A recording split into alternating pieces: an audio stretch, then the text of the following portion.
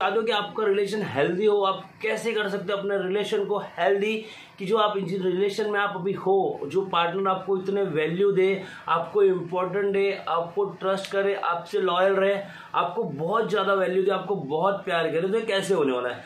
तो इसके लिए मैं आपको साइकोलॉजी टिप्स देने वाला हूँ कि आप कैसे इजीली अपने रिलेशन को हेल्दी रख सकते हैं। विदाउट आपको कुछ नहीं करना, सिर्फ़ नॉर्मल चीज़ करना जो आप पर डे करते हो। देखना, आपको स्लो स्लोली स्लोली स्लोली आपका रिलेशन जो है बहुत ज़्यादा हेल्दी स्ट्रांग हो जाएगा।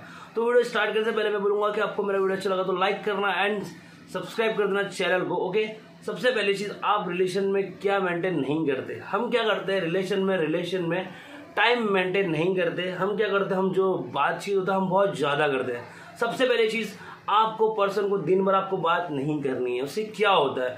आप कंटिन्यूसली जब आप पर्सन से बात करते हो रिलेशन देखो हर एक रिलेशन में ऐसा होता है। पर आप जब दिन भर बातें करोगे, दिन भर उससे बात करोगे कॉल करोगे चैटिंग करोगे, उससे क्या होगा कि जो आपको एक वैल्यू बना हुआ रहता है, वो नॉर्मल नॉर्मल स्लोली स्लोली क्या होता है ईजी हो जाता है। तो ये आपको नहीं करना। हम क्या करते ज़्यादा बात करते हैं। उससे क्या होता पता है?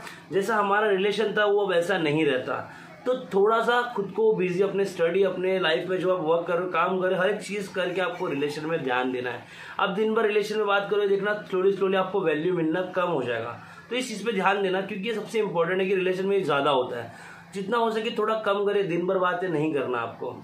जितना हो सके पहले अपने काम में, अपने फैमिली हर एक चीज़ करने के बाद आपको रिलेशन को टाइम देना है।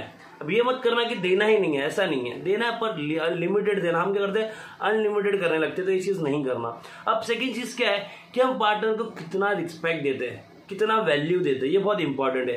देखो कैसा होता है, हमें पार्टनर वो गलती भी करता है ना, हमें ऐसा लगता है ना तो हम उसको माफ़ कर देना चाहिए। और हमें क्या करना चाहिए, उसको रिस्पेक्ट देना चाहिए इंपॉर्टेंट देना चाहिए। बट हम क्या करते हैं, उसको रिस्पेक्ट देते ही नहीं पार्टनर को। आप जब पार्टनर की रिस्पेक्ट नहीं करोगे तो आपको रिस्पेक्ट कहाँ से मिलेगा? तो बहुत इंपॉर्टेंट चीज़ है कि आपको पार्टनर को रिस्पेक्ट देना चाहिए, हम उसकी इज़्ज़त ही नहीं करते हैं। वो कुछ बोल रही है, कुछ बोल रहा है, हम ध्यान ही नहीं दे रहे हैं। उसके बातों को, कुछ भी चीज़ हम उसकी इज़्ज़त करते हैं, उसको दिखाते कि नहीं, तेरी कोई वैल्यू नहीं रिलेशन तो आपको ऐसी गलती नहीं करनी है कि पार्टनर को हम बार बार जताते ये चीज़ नहीं जताना आपको कि ये चीज़ जल्दी करते हम क्या करते हैं पार्टनर को, हम कुछ ज़्यादा ओवर कॉन्फिडेंट रहते हैं एटीट्यूड में रहते हैं कि अपने पार्टनर को इज़्ज़त नहीं देते हैं। ये चीज़ आपको कभी नहीं करनी है। जितना हो सके आपको पार्टनर को रिस्पेक्ट एंड वैल्यू देना है, क्योंकि जितना आप रिस्पेक्ट पार्टनर को दोगे ना, उतना रिवर्स में आपको उससे ज़्यादा मिलेगा। तो ये चीज़ ध्यान देखना कि अपने पार्टनर को कभी भी इंसल्ट फील मत करना, लोगों के सामने अकेलेपन में भी नहीं करना। जितना हो सके उसको इतना रिस्पेक्ट दो। देखना आपको उससे ज़्यादा रिस्पेक्ट मिलना स्टार्ट हो जाएगी। अब थर्ड चीज़ है कि हम पार्टनर में ट्रस्ट कितना करते हैं। देखो, क्या होता है, हम बार बार ना देखो, हर एक रिलेशन में इंसान पॉजिटिव हो जाता है ओवर पॉजिटिव हो जाता है, कि हम, हमने रिलेशन में क्या होता है पार्टनर में ट्रस्ट नहीं कर पाते। ये बहुत गलत चीज़ है। जब आप ट्रस्ट नहीं कर पाओगे रिलेशन में तो आपका रिलेशन हेल्दी हो ही नहीं सकता।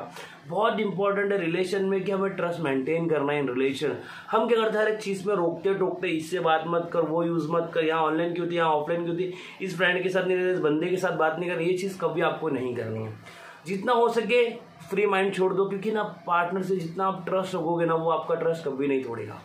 तो बस आपको एक ही चीज़ फील कराना है कि पार्टनर को आपको कुछ भी हो जाए, इतना ट्रस्ट दिखाने कि आपको उसको बहुत ज़्यादा ट्रस्ट है। और ये चीज़ आपको असलियत में रखनी है।